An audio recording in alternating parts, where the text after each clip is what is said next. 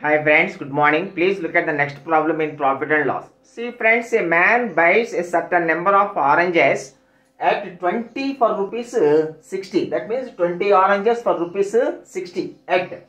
So each orange cost uh, 60 by 20 that is 3 rupees. And an equal number of oranges at uh, 30 for rupees uh, 60 that means here the cost of each orange is 30 60 by 30 that is equal to 2 rupees so total cost of two oranges uh, 5 rupees and average cost of one orange 5 by 2 that is equal to 2 rupees 50 paise. This is average cost of each orange 2 rupees 50 paise. And he sell he mixes them and sells them at uh, 25 for rupees 60 so the sold price of each orange, the sold price of each orange 60 by 25, 5 5s, 5 12s, that is equal to 12 by 5. 12 by 5 means 2 rupees 40 paise. So the sold price of each orange.